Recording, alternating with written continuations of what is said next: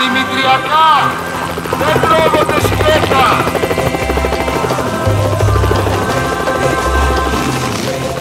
Kellogg's Crunchy Muesli. Ακαταμάχητα νόστιμα, ακόμα και σκέτα.